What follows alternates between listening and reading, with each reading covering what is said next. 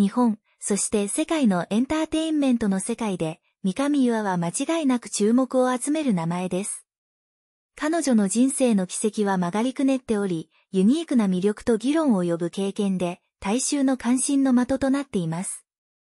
三上岩は1993年8月16日に日本の愛知県名古屋市に生まれました。若い頃、アイドルになる夢を抱き、2009年3月に SKE48 のメンバーとしてデビューし、芸名は紀藤東奈でした。しかし、夢の道は平坦ではありませんでした。2010年、彼女はファンとの秘密の会見事件でスキャンダルに巻き込まれ、グループ内での立場が急落し、研究生に降格されました。それでも、彼女は芸能界での追求を諦めず、2012年から2014年の間、様々な劇場公演などの活動に参加し、自分の才能を発揮しようと努めました。しかし、結局2014年に SKE48 を卒業し、この曲がりくねったアイドルの旅を終えました。2015年6月1日、彼女は三上優愛と改名し、非常に議論を呼ぶ決断をしました。正式にアダルトビデオ業界に進出しました。この転身は瞬く間に多くの注目を集め、社会の各方面から広く議論されました。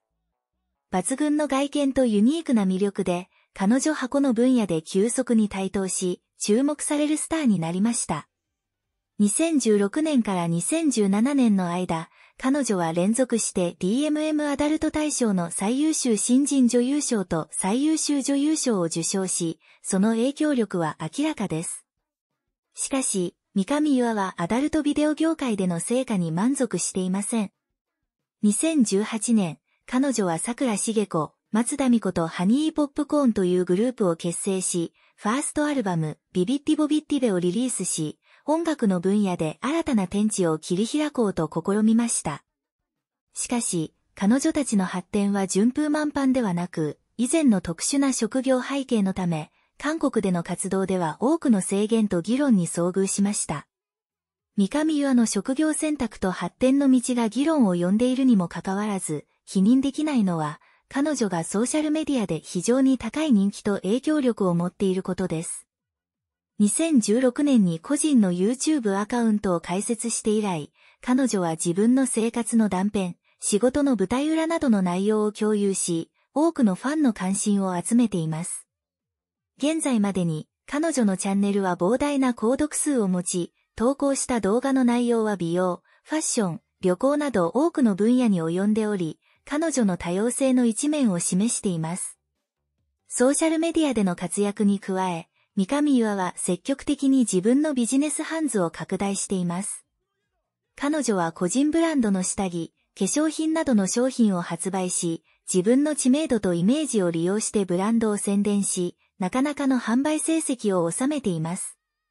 同時に、彼女は頻繁に各種のビジネスイベントやバラエティ番組に出席し、さらに自分の露出度と知名度を高めています。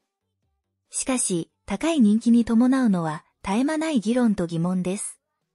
彼女の職業選択は伝統的な道徳観念に反し、社会風潮に悪影響を与えていると考える人もいます。また、彼女が過度に商業化し、自分のイメージを利用して利益を得ていると非難する人もいます。しかし一方で、彼女が勇敢に自分の夢を追い求め、粘り強い精神とユニークな魅力を示していると考える人も少なくありません。外部の評価がどうであれ、三上優愛は独自の方法でエンターテインメント界に深い痕跡を残しています。彼女の経験は私たちに、この多様化した社会で、成功と価値の定義は単一ではなく、誰もが自分の道を選ぶ権利があり、自分の選択に責任を持って勇敢に前進すればいいと教えてくれています。多分、未来の彼女は私たちに予想外の転身と驚きをもたらすでしょう。そして、私たちは彼女が議論と挑戦の中でどのように自分の素晴らしい章を書くかを見守ります。